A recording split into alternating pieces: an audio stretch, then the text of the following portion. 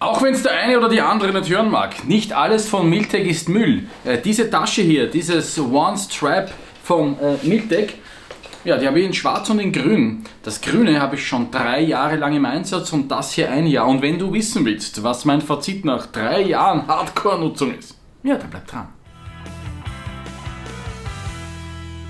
Hallo, willkommen, da ist der René Ostrom vom Survival Shop Problemskunst. Schön, dass du dabei bist. Ja, was sind meine Erfahrungen mit diesem Teil hier? Dieses konkrete Teil habe ich jetzt drei Jahre im Einsatz, nicht ganz, aber so gut wie. Und es ist toll, es ist wirklich toll. Also es ist so eine, eine, eine Sling-Lösung, das heißt du hast nur einen einzigen Streifen, wo das, das ganze Gewicht drauf liegt. Das gibt es auch in größer, das mag ich aber nicht. Äh, das hier, von dem bin ich hundertprozentig überzeugt, habe es deswegen auch jetzt in meinem Shop gebt unten billige Eigenwerbung den Link dorthin, dort kannst du das auch erwerben. Ich bin von dem hier überzeugt aus dem Grund, weil es eine kompakte Größe hat. Man kriegt viel rein, aber es ist nicht so groß und nicht so schwer, dass man es nicht mitnehmen mag. Und, und das ist der nächste Punkt, ich kann es durch diese Sling, durch diesen One-Strap auch nach vorne nehmen und hier zugreifen auf meine Ausrüstung und das ist ganz einfach irrsinnig praktisch. Einerseits kann man es natürlich, gehen wir es einmal ganz kurz durch, ich trage es immer auf dieser Seite, aber man kann es auch umswitchen. Ja, man kann es auch umswitchen und auf der anderen Schulter tragen, wenn man entweder abwechseln will oder andershändig ist oder aus irgendeinem anderen Grund es so tragen möchte, dann geht das auch. Das ist alles überhaupt kein Thema. Hat irrsinnig viel ausgehalten, auch die Zips. Ja. Äh, der Zipverschluss ist ausreichend gut, das ist super, also für Miltec wo man ja normalerweise sagt, Daumen nach unten. Der hier ist wirklich eine Ausnahme, das muss man einfach einmal so sagen. Äh, von den Fächern her, du hast hier vorne ein Frontfach.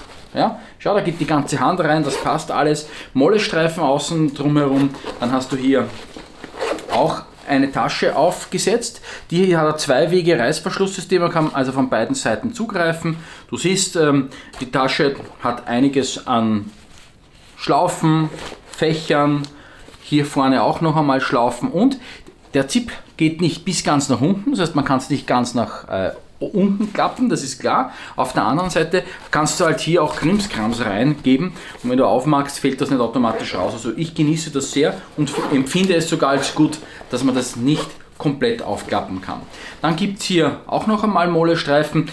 Da vorne habe ich es noch nie genutzt. Vielleicht hast du eine Idee, was man da vorne drauf geben kann, aber ich halte das dann für ein bisschen übertrieben. Dann hier auch noch einmal so ein Fach, genauso wie das untere, nur eben kleiner. Ja, was fehlt ist ähm, an, an der Außenseite äh, diese Schlaufen, diese elastischen äh, Bänder, die sind hier nicht da, dabei. Und dann gibt es ein Hauptfach. Und bei diesem Hauptfach ist es jetzt so, da haben wir auch ein zwei-Wege Reißverschlusssystem. Jetzt äh, Vorführeffekt klemmt er. Ja. Das ist aber immer so, aber ich schneide das nicht raus. Das ist ganz einfach so. Jetzt klemmt er, ist aber Zufall, passiert nicht sehr häufig. Da gibt es da dieses Fach. Da kann, gebe ich immer irgendwelche kleinen Geldsachen rein oder eine SD-Karte. Das kann man hochklappen. Dann befindet sich hier ein Fach. Da kann man auch unterschiedliches Krimskrams reingeben. Irrsinnig viel Platz. Da ist auch ein Klett, das heißt, du könntest hier mit irgendwelchen modularen Systemen noch etwas draufgeben, zum Beispiel von äh, Tasmanian Tiger.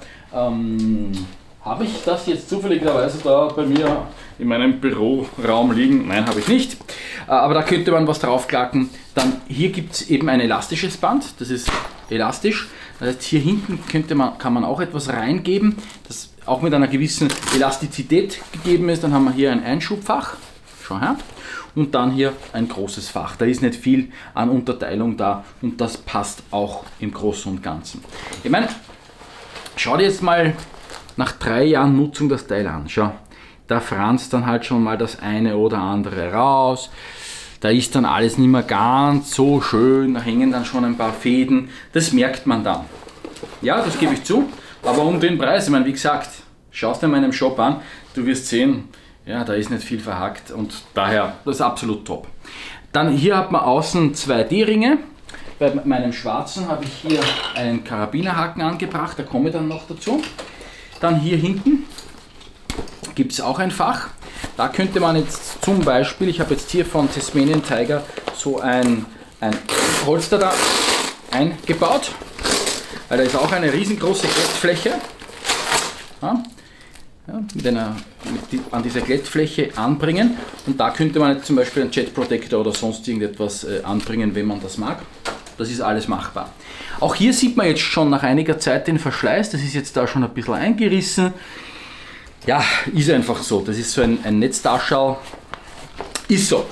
Wenn du sagst, das halte ich emotional nicht aus, dann ist es ganz einfach so. Ich finde, dass es jetzt Charakter bekommen hat. Nein, im Ernst, also für den Preis ist das absolut top.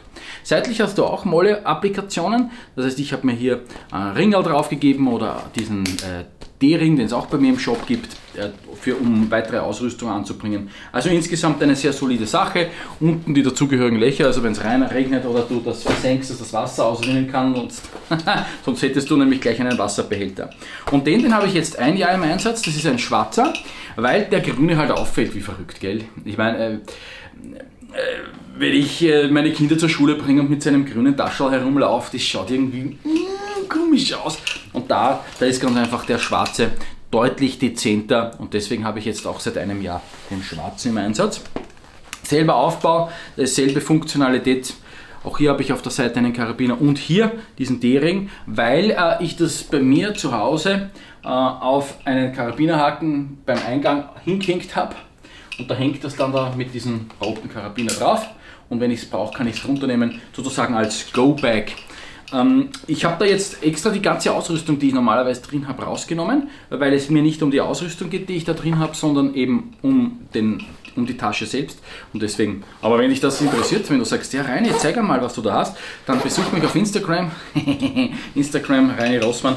Äh, wenn, wenn du das willst, schreib mir dort eine Frage, was ich so eingepackt habe, dann mache ich ein kleines Instagram-Video äh, dazu. Das war's jetzt. Ich meine, Miltech hin oder her, schreib mir einen Kommentar, hast du diese Tasche, was hältst du davon, was hältst du von Miltech allgemein? Und ich bin ohnehin jemand, äh, der sagt, äh, dogmatische Einstellungen, dass man sagt, Miltech grundsätzlich schlecht äh, und Qualitätshersteller, egal was, ich nenne jetzt keine, ja, das ist automatisch gut, das stimmt nicht. Ja? Genauso wie man jetzt nicht sagen kann, Reine, du hast immer recht. Das ist ein Blödsinn, ich habe sicher nicht immer recht, ja? aber ich habe auch nicht immer Unrecht. also man muss sich das von Fall zu Fall anschauen und so ist es bei Miltec auch und diese Ausrüstung, die kann ich empfehlen. Das war's, das war's, das war's. Daumen nach oben oder nach unten, Kommentar wird eh schon gebeten. Äh, billige Eigenwerbung, vielleicht magst du bei mir im Waldlevel Shop vorbeischauen oder auf waldurlaub.at.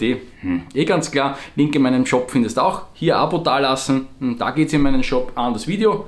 Es war mir Freude, dass du dabei warst. Bis bald und ciao.